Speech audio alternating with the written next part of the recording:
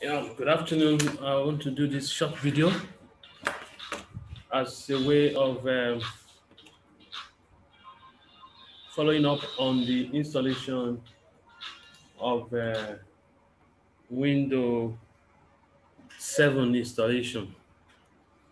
I'm just going to quickly explore the Windows 7 installation that we installed um, on our virtual box and see how to proceed from there, how to check our uh, the drivers to be sure they are properly installed and uh, how to do some other settings.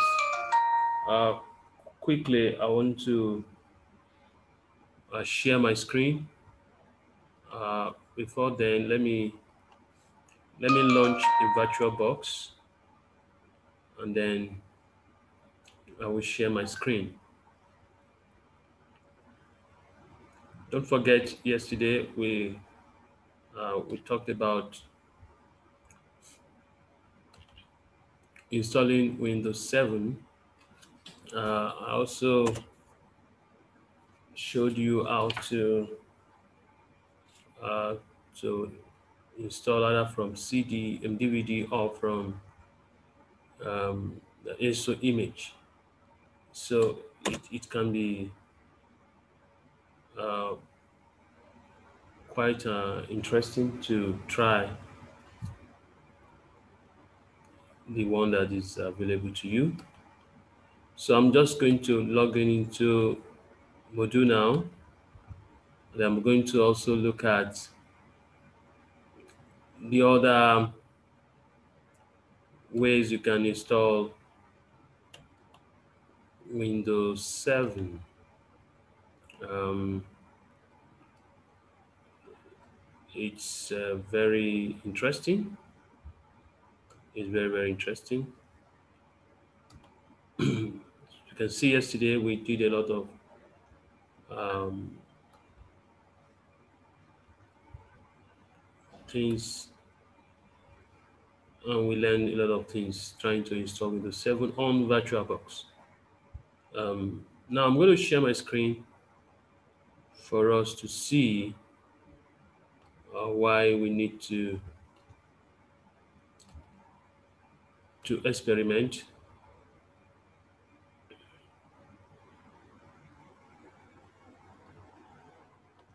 We need to experiment. Why? Uh, why we need to also? I mean, we need to do some final check on our installation to be sure uh, that uh, we have done the proper thing. Now I'm going to quickly show you a follow-up on yesterday's uh, lab. So let me share my screen now. Uh, okay. Mm, I'm going to share my screen. Okay.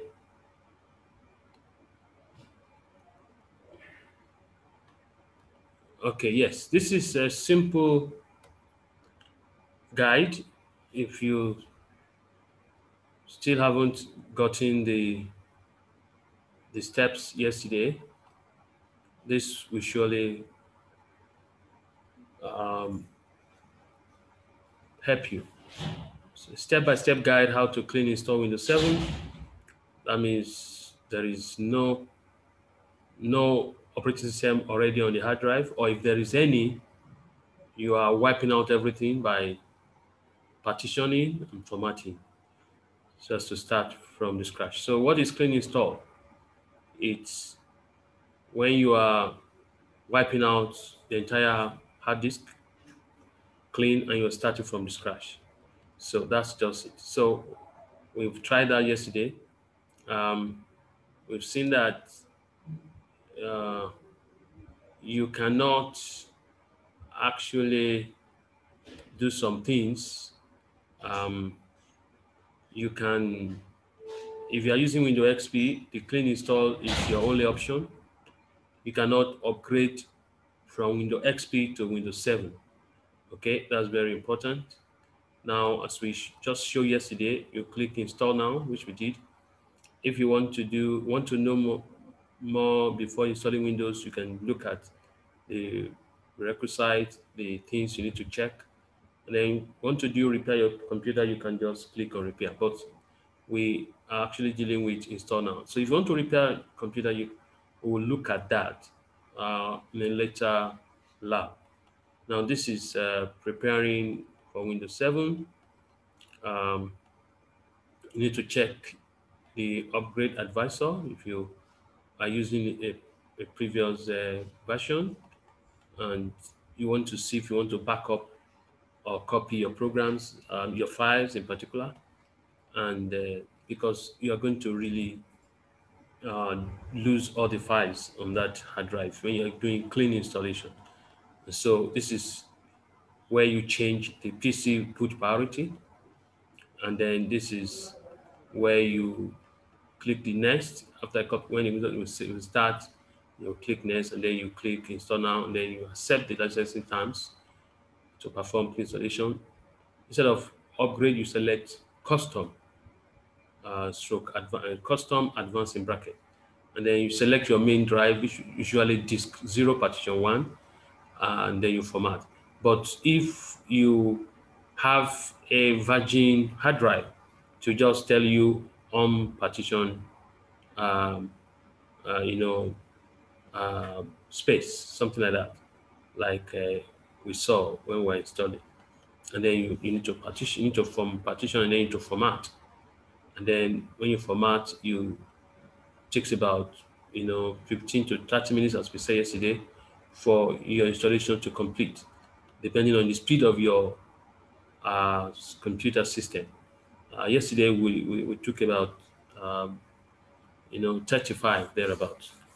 Also, uh, then you now need to set your user account, password, um, and then you now let me quickly do a a warning here. Now, when you well, we, we, we advise you to, to use a very strong password. Recommended password should be combination of character and letters.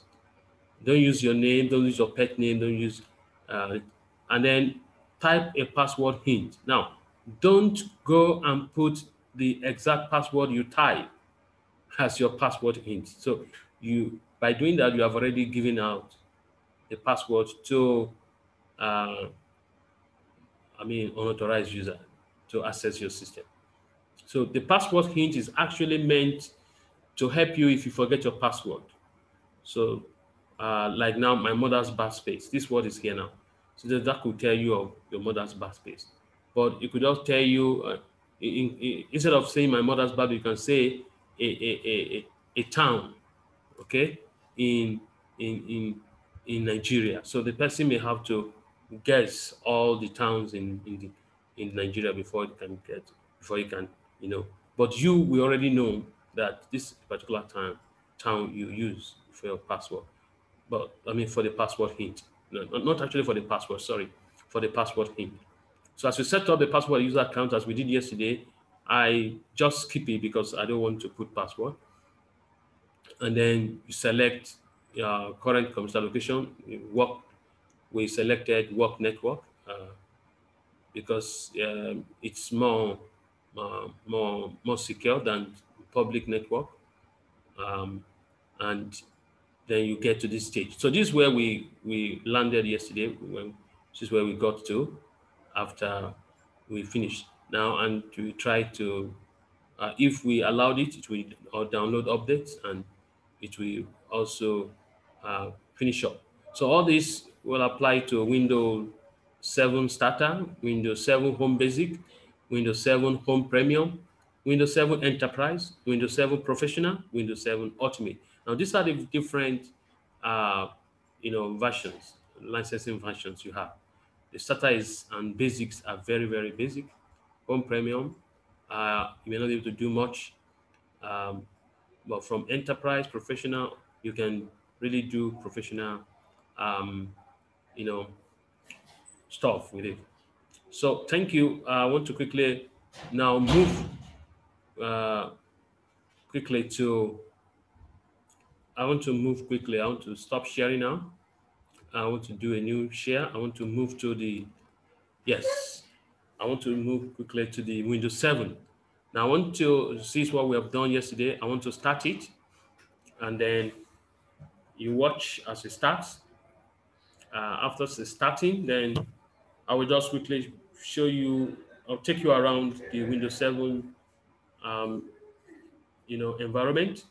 And from there, you'll be able to see the next thing to do. Normally, when you finish installing Windows 7, because of our time yesterday, we could not go further. The first place to check is your device manager.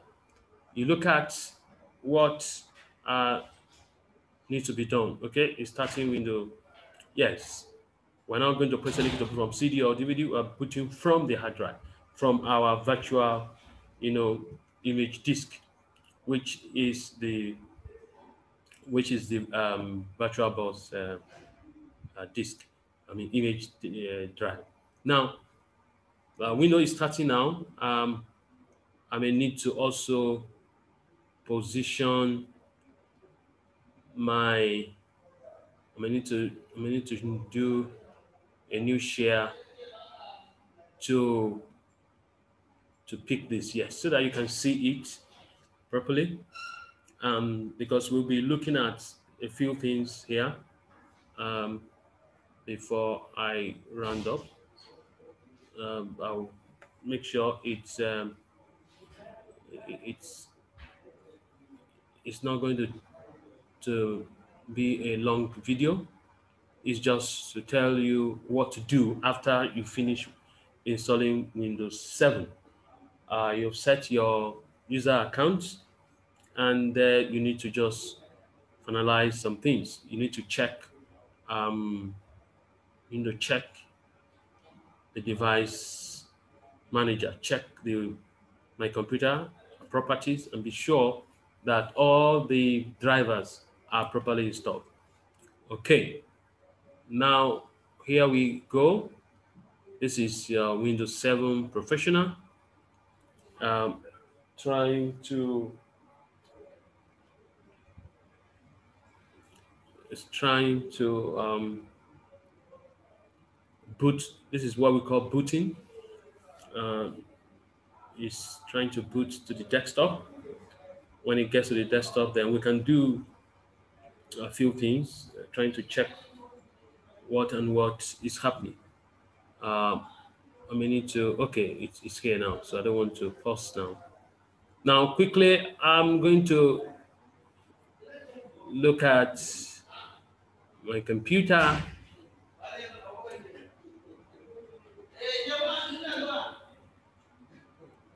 going to look at my computer. Okay. I'm going to look at yeah, my computer. You can see 32 gig that we do here. Now I'm going to right click on computer. I'm going to click on properties where we stopped yesterday. Yes, let me bring it down. Okay, uh, you can see we need to, as I said yesterday, we need to to actually uh, activate the windows. So, but what I'm going now is to check where, where I want to look at is the control panel, and then we'll look at the device manager. Uh, later, we'll look at other things like the advanced system setting and all that. We're going to also look at uh, maybe virtual memory setting or this thing. Okay, you can see this is the device manager. This is devices are here. Uh, this is the computer. It's a ACPI 64-base PC.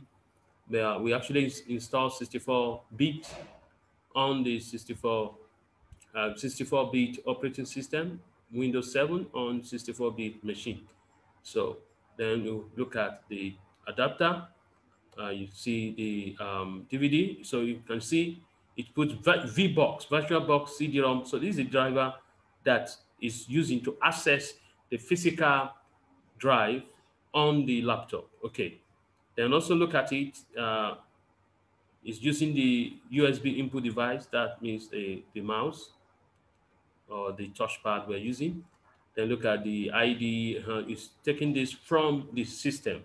These are the advanced technology um, attachment programmable uh, interface, or some call it, um, you know, packet interface.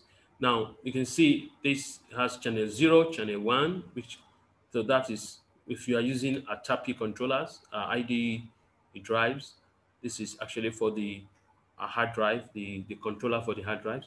And then you talk about the, for the SATA, Serial ATA, Advanced Technology uh, Attachment, uh, that is for the SATA drive. So, and SATA drives are very efficient, faster, and uh, they are more readily available now. So, I think uh, that's what we normally use now. Uh, you see the keyboard, you see all these things.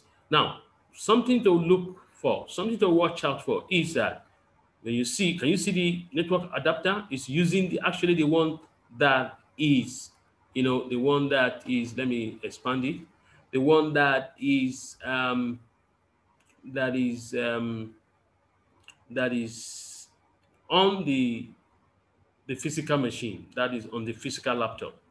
So it's just taking a taking a, a, a kind of uh, a stance of it, taking it just uh, you know it's, it's, it's using a kind of virtual uh, copy of it. Okay. Now look at this. Anywhere you see exclamation mark or question mark, it means that drive I mean, that particular device needs to be checked. Either the driver needs to be updated or the driver is not installed at all. And so and when, I, when you double click on it, you will see driver for this device are not installed, code 28. Then you may need to check uh, and update the driver through the internet. Okay? Uh, or you may need to do what we, we can use a driver update on the net to, to know which uh, which device it is so that you can actually get the updated um, driver. You can see. So you can look at driver details and then you can see update driver. This can check for the driver software to update. And details, you can see resources, nothing because the, the device no. So when you, so this will also uh, help us to know the system resources that the the device is using. For instance, if I double click on the on the uh, adapter for the network adapter, the adapter for the network, you see it's saying the device is working properly. That means the, the, the, the driver is properly installed. And so you can see advanced, you can see the driver um, version, you can see the details, and you can see the resources. Okay, you can see same resources we talk about, memory, IO range, IRQ. So he's using IRQ uh, you know, 19 here, uh, which, you know, and then, and then it's using I, IO range, you know, input output range like that. So when a device properly installed, there will be resources uh, allocated to it. It will have resource settings like memory range, I, uh, IO addresses, that means input output addresses, and then in, in then interrupt requests, IRQ uh, in our in our hardware class in the first semester, uh, we talked about the system resources, uh, IRQ, being used by the by the uh, devices to interrupt the CPU. And then we also talk about IO addresses that the CPU uses to communicate with a particular device. So take note of that. Um, this are still very, very uh, valid here. So power management, this can show whether the, this shows whether the computer can turn off the device to save power. So that is that. So now I'm quickly going to stop here uh, because um, there's only one device that needs to be updated and uh, you can see the processor of this is this. This is where you get to know most of the devices. Uh, later, we'll do other uh, labs to actually follow up on this. Now, let me close this and uh, let me uh, quickly look at advanced system setting. Yes, this is where we see your computer name, where you can put your, your hardware. This, you can also get device manager from here, advanced. Now this is where we look at our, um, you know, uh, we have performance here, where we can have virtual effect, processor scheduling, memory and virtual memory. Now this is where we actually set virtual memory, okay? Uh, but we, we, we normally allow Windows to choose the best for the computer. So well, we don't normally touch anything. But for here, you see virtual memory is a paging file in the uh, uh, that is in an area of the hard drive that Windows uses as if it were RAM. Okay, so that's a virtual memory. Okay, the total paging file for all drive is two gig. Okay, we can change it. So you have the physical RAM, which is what is on the is on the hardware. Now, this virtual memory is to complement the, the, the physical RAM. Now, we have 2 gig for the virtual memory, and we have 2 gig for the physical memory. So that means this system can, you know, make use of this 4 gig. You know, this is going to be an area on the hard drive that Windows will be using as if it were RAM. So it will create temporary files there, which it will uh, use in any process. Uh, I mean, and then those files, after the processing is done, can be deleted. So that's why you can do uh, disk cleanup regularly because those files can be left there after they have been, you know, uh, used, uh, after they are done with. So those files becomes useless and they can be gotten rid of. They can be deleted. Uh, but you can use disk cleanup to do that or to free more space. So which we're going to do later. So thank you very much for this uh, short video I've just done. This is data execution pre prevention is a bit advanced. So um, we're going to stop here for now. Um, I'm going to cancel. Now, the next thing that you may want to look at, let me see, is uh, you want to check all the programs. Okay, these are all the programs we have here. Um, you know, uh, accessory, on the accessory, uh, you can use the command prompt. They're going to be using command, command prompt. Uh, probably we'll do this more on Windows 7 before we install Windows uh, 10. So Windows 7 will be using some commands to correct problems uh, we're going to introduce us to commands, you know, because we need to know command prompts and we need to know how to use commands to solve problems. So that will probably do uh, when we move into, um, um, you know, using commands to solve problems. Uh, you can connect to projector, you can do notepad, paint, all these things are here. Now there's something into these system tools, very, very important, easy of access, but let's look at system tools that you may need to get acquainted with. One of them is disk cleanup, disk defragmenter, control panel, computer, all these things, resource monitor, system information. Now, very, very important. Let me quickly do this system information before I go. Uh, we, we, we, will still do system restore and all these things, and we will do that later. But quickly, let me go just use give system information. Now, very, very important. You can see you can have a quick um, idea of the the the the the the um, the you know the um, configuration of your system, uh, both software and hardware. So this is just a quick, you know, uh, you can see where we talk about physical memory, two gig, available memory is 1.5, then total virtual memory is four gig, available is this. Now you can see these are the the uh, the page file space. This is what is adding to to the physical world. So you can see uh, this is where uh, we talk about the conflicting devices. We call direct memory access controller. This is the input output input output addresses. This is uh, these are the uh, interrupt requests. You know, uh, on the system and uh, memory, you know, range. And you can look at the components here, and you can get to know also the software environment. These are the ones you can see here. So thank you very much. I'm going to stop here. Um, have any question, we will take care of that. Have a nice day. See you again. Bye.